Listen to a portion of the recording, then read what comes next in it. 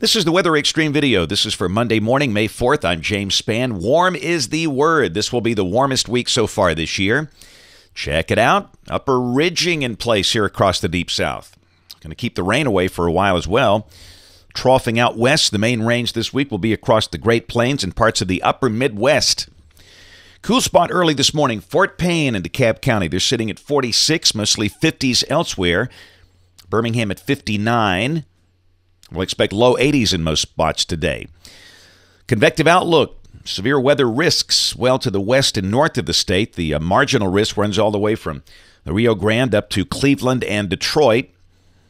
Some of the uh, slight risk areas would include Kansas City and Omaha in the far western part of Texas. Tomorrow, the standard slight risk again for West Texas, where they'll take any rain they can get. This is good for them.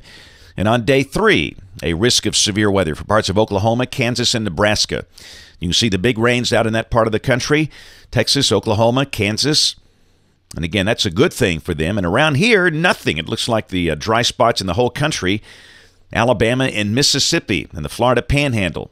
And this is valid through Saturday morning. Check the models here. The GFS, this is the 06Z run, valid today at 1 o'clock local time. You see the upper low that's over Southern California ridging here. And down below that, a bright sunny day and a warm day with low 80s. Pretty much the same deal tomorrow. A good supply of sunshine. Low and mid 80s are likely. And Wednesday, we stay dry. Of course, you can see potential for active weather across the Great Plains with that deep surface low in eastern Colorado. And look at the feature that is off the Florida Atlantic coast on Wednesday. You know, the models have shown this for a long time.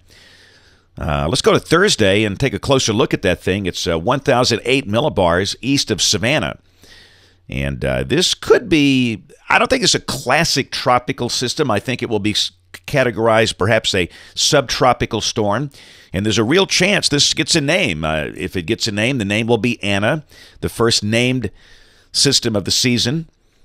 Of course, we're still dry on Thursday. And then the uh, GFS depicts this thing drifting into uh, the Atlantic coast around Savannah on Friday. And this would suggest maybe some rain with this thing uh, over the Carolinas on Friday, but we stay dry. Uh, Friday's high will be up in the uh, mid to upper 80s. The GFS is showing 87. It's going to be very warm, just like uh, summer almost. And Saturday, the thing just sits there. The pattern's all blocked up. It's really got nowhere to go. Saturday, as the weekend begins, we're dry with mid to upper 80s here. And Sunday, now we'll show the larger scale again. You can see a, a surface low is over Iowa with the trailing front.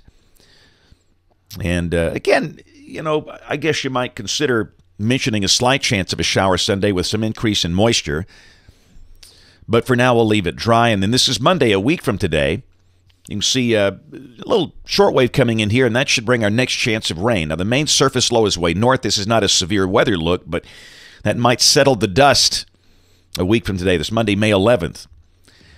This is the end of the forecast, the middle of next week, Wednesday, May 13th, and we've still got heights above average here, and a little disturbance west of the state might bring some rain to Louisiana, but again, that looks fairly quiet. And the good news, we see no chance of any severe weather here for the next uh, 10 days for sure. That's it for the Weather Xtreme video today. We'll have notes in the blog. Next video here by 4 o'clock this afternoon. If you can't catch us this evening on the live stream of the television site, ABC 3340 News at 4, 5, 6, and 10. Thanks for watching. Have a great day, and God bless.